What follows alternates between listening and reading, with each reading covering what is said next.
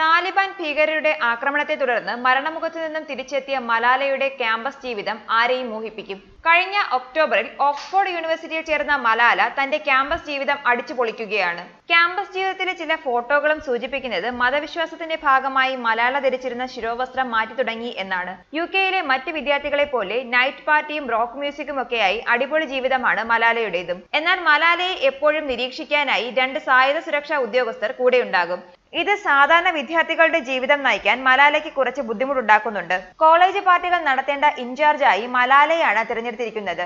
ഇതിനു പുറമെ വിദ്യാർത്ഥികളുടെ യൂട്യൂബ് വീഡിയോകളിൽ മലാല താരമാവുകയാണ്. തങ്ങൾ മലാലയ്ക്കൊപ്പം ചില രാത്രികളിൽ പൂർണമായും ഉറക്കമൊഴിച്ച് ബേവൺസ് റിഹാന എന്നിവ കേട്ടിരിക്കാറുണ്ടെന്നും ഇന്ത്യൻ ടേക്ക് ഏവിയൻ നിന്നും ഭക്ഷണം കഴിക്കാറുണ്ടെന്നുമാണ് മലാലയുടെ ഒരു സുഹൃത്ത് പറയുന്നത്. ക്യാമ്പസിലെ ആദ്യ ആഴ്ച മലാല ക്രിസ്ത്യൻ യൂണിയൻ പാർട്ടിയിൽ പങ്കെടുക്കുകയും പഴയ വിദ്യാർത്ഥികളോട് മത്സരിക്കുകയും ചെയ്തിരുന്നു. യൂണിവേഴ്സിറ്റി സൊസൈറ്റിയിൽ വെച്ച് പോളോ മത്സരത്തിലും ക്രിക്കറ്റ് ക്ലബിലും മലാല പങ്കെടുത്തിരുന്നു.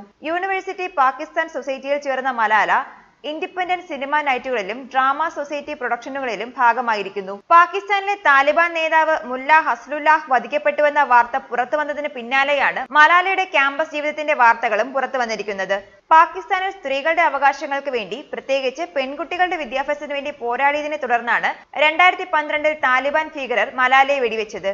മുല്ല ആയിരുന്നു മലാലയെ വെടിവെക്കാൻ ഉത്തരവിട്ടത്. ന്യൂസ് ഡെസ്ക് മലയാളി വാർത്ത.